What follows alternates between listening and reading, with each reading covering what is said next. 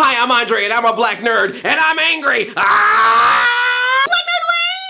Today's topic, 2011. 2011 sucked. Number of movies released in 2011, over 850. Number of movies released in 2011 that aren't a remake, a reboot, a sequel, a prequel, or based on a TV, movie, comic book, or cartoon? One. And unfortunately, that one is Bucky Larson. Netflix was named the worst company of 2011 because of that whole Nestle Qwikster thing. But they that pretty early, so I don't really think they gave GoDaddy, Lowe's, and Ocean Marketing a good chance. Sopa, you sucka. Not only are you a terrible law, but you sound like something an Italian stereotype would say while taking a bath. Mario, I'm about to take a shower. Pass me the sopa. Video games. I don't know if you heard this, but a year actually has 12 months. So stop putting every video game out in November. Just because we look like we don't have lives, don't mean we don't have lives.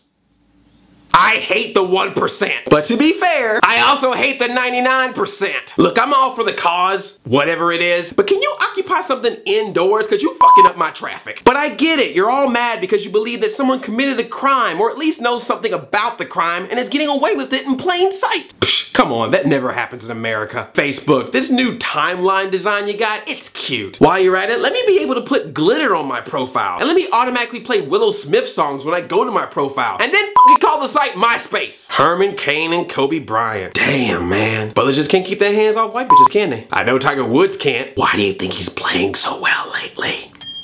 Gay people still can't get married. I'm gonna help you out, gays. Here's what you do. Make a sex tape, release that sex tape, which will make you famous. Then you call up the E! Network, they'll give you a reality show. Make yourself a skank to basketball players. And then you marry one of the basketball players on national television. And if the marriage don't work out, don't worry about it. You can end it in like 70 days. Better idea. Marry a 16 year old.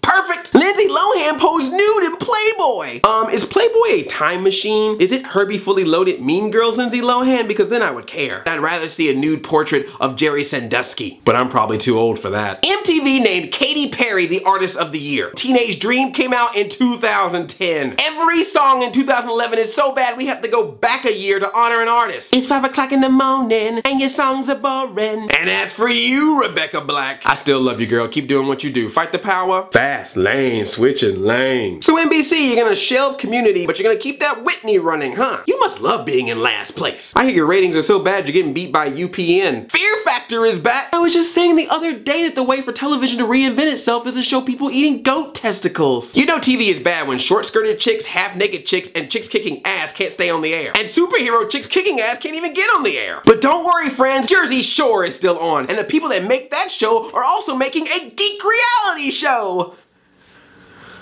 Oh my god, I hope the Mayans are right about 2012. Black. Now I want to hear from you. Worst thing of 2011. Put it in a comment or a video response. Be sure to like and favorite this video and tickle that subscribe button so you know when new videos are coming out. Thanks a lot for a great 2011, cousins. I'll see you in 2012. I'm out at 5,000. Chain chomp. Ew.